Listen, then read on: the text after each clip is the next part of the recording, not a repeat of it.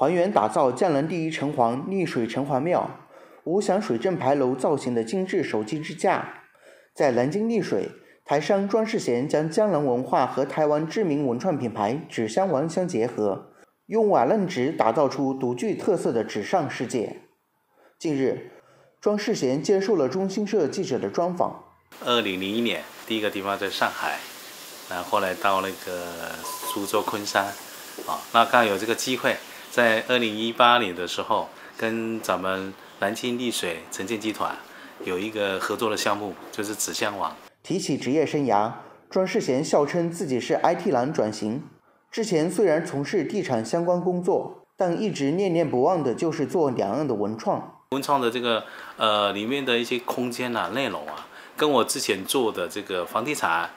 购物中心、商场呢，它是不谋而合，所以刚好把我的整体的那个呃做了从事了二十二三十年的这个经验，把它揉在一起了，希望说打造出来一个呃不一样的纸箱网。落户丽水后，庄世贤不断思考如何丰富纸上文创的地方元素。纸箱网在那个丽水啊，呃，纸艺馆啊，纸艺馆跟那个餐厅是去年的九月份，然后今年的部分呢就加入那个呃亲子酒店，等于是三个呃板块。哦，虽然面积不大，但是我们还是把这个每一个板块呢，呃，把它做到比较细致的一些去做一些调整。虽然没有大肆的对外宣传，但是在呃礼拜五、礼拜六，在在那个亲子的酒店这条线还是比较饱满。多年来，庄世贤一直致力于推动两岸融合发展。在他看来，台湾和大陆的文创设计和而不同。两岸的这个呃，在文创品上面哈。我觉得是台湾的文创品，它小而美，就是说它做的东西，它是朝呃小细节去做，它可能是比较大的架构去规划的哦，所以你可以看得到哈，那个像我们的纸艺啊，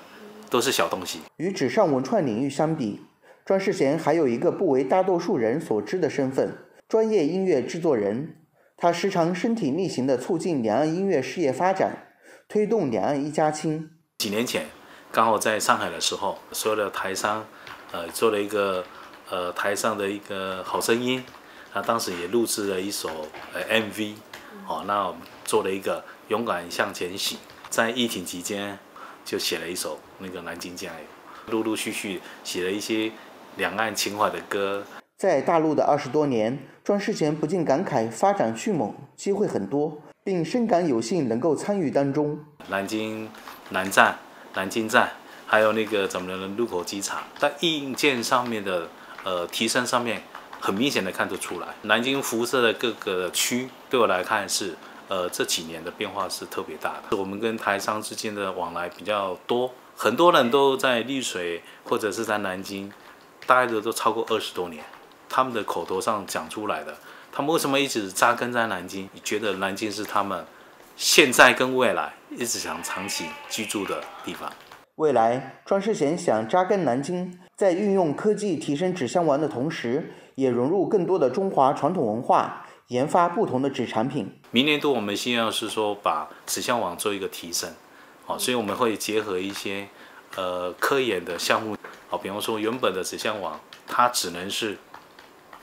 静态的，明年我们希望说让它可以变成有动态的。有声音的，